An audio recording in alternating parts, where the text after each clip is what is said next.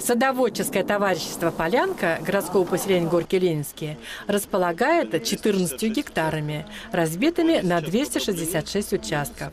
Сергей Асачи – дипломированный председатель СНТ. Что вам дали эти курсы?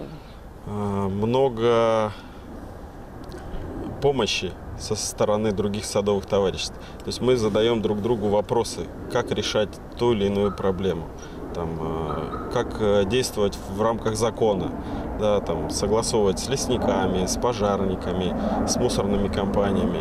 Садоводческое товарищество «Полянка» в полной мере можно назвать образцовым. Мусор вывозится регулярно, чисто у кромки леса. Товарищество оборудовано информационным знаком о названии СНТ. Придуманы оригинальные названия улиц. В надлежащем состоянии уличное освещение и даже проведен интернет. Что же касается личных участков, то здесь находятся люди, не соблюдающие общие правила. У нас товарищество большое, но не все члены нашего садоводческого товарищества следят за своими участками. Э, участки не огорожены, есть такие, не косятся, ну хотя бы два раза в году. И было бы достаточно. И понимаю, что, может быть, кто-то не пользуется участком по разным причинам. Э, может быть, кто-то работает, не совсем удобно добираться. Но, тем не менее, если имеется земельный участок, надо содержать его в порядке.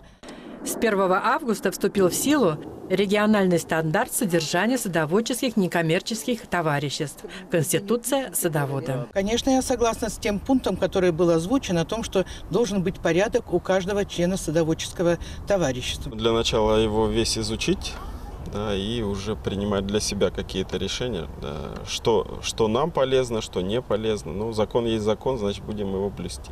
В стандарте нет ничего революционного. Он содержит общие требования и предписания. Тем садоводческим товариществам, где будут соблюдаться все положения стандарта, может быть оказана помощь со стороны муниципалитетов по благоустройству. Людмила Медведева, Алексей Иванов, Екатерина Чернышова, Видное ТВ.